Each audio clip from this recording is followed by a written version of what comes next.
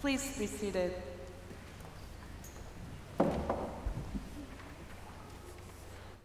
Friends, in confession, we experience the fullness of God's grace.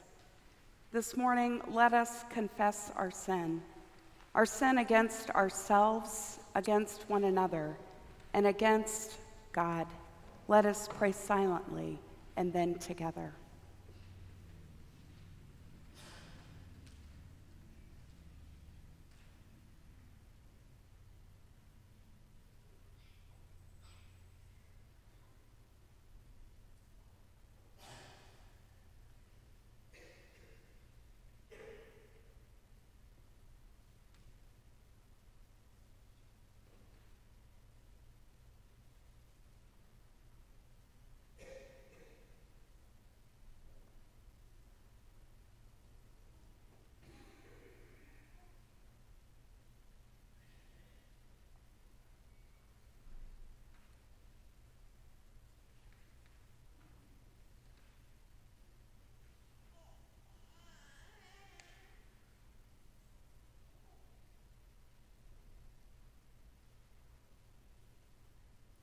Merciful God, we confess that we have not loved you with our whole heart.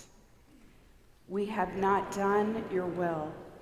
We have broken your law, and we have rebelled against your love.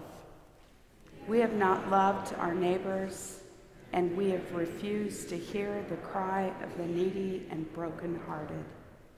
Forgive our weak faith and free us for joyful obedience through Jesus Christ our Lord.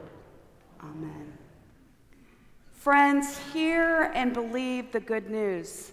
The mercy of the Lord is from everlasting to everlasting. Know that your sins are forgiven and be at peace. Amen.